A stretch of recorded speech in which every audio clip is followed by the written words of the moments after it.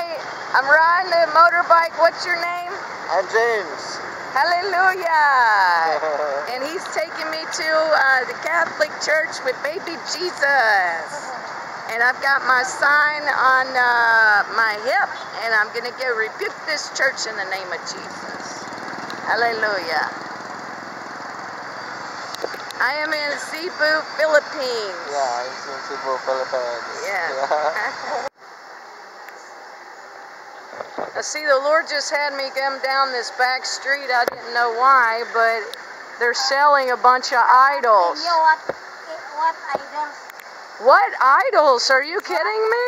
This one, Santo Yeah, those are idols. Ah, you are not Catholic. No, thank God I'm not. Oh, why he? Catholics are not going to heaven. Idol. Yeah, it's idols, baby Jesus. Jesus is not a baby anymore. Not a before, baby. Jesus is, is a grown man that died on the cross for our sins. That's not Jesus. That's not Jesus. Oh, Jesus. That's not Jesus. Jesus is very mad about these idols. Jesus is mad over these idols. You people, you need to repent of your idols. Saying what idols?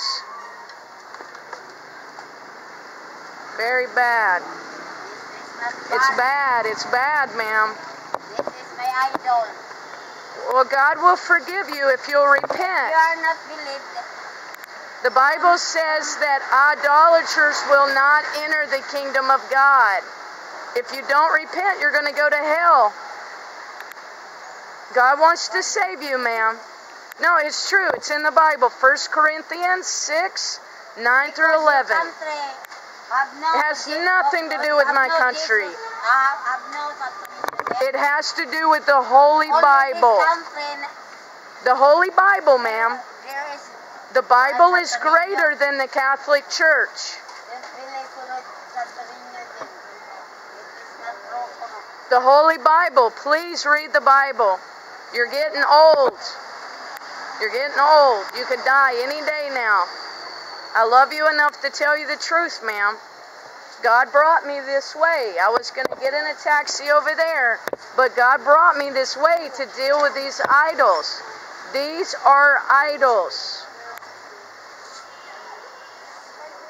Okay. If you will turn to Jesus Christ, He will forgive you. It's not funny.